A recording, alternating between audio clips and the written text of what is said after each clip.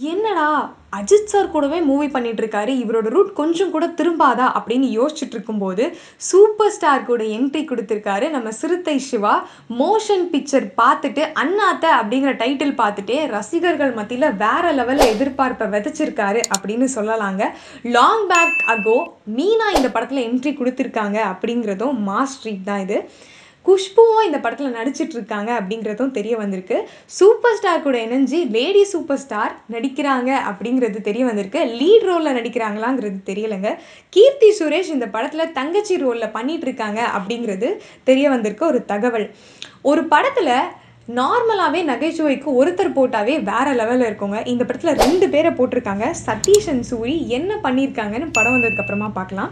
அடுத்தது பிரகாஷ் ராஜ் வில்லன் ரோலில் நடிக்கிறாரு அப்படிங்கிறது தெரிய வந்திருக்கு. என்ன மாதிரியான ரோலுங்கிறது தெரியலை.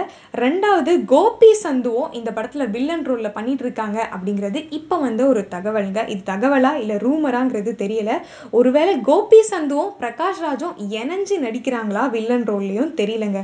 கோபி சந்து யாரா அப்படின்னு கேட்குறீங்களா ஜெயம் மூவியில் ஜெயம் ரவிக்கு வில்லனாக நடிச்சிருப்பாரு. இவர் நிறைய தெலுங்கு மூவியில் பார்த்துட்டு இருக்கலாம் படம் வந்ததுக்கப்புறமா எந்த லெவலில் இவங்க நடிச்சிருக்காங்க அப்படிங்கிறது தெரிய வரும்.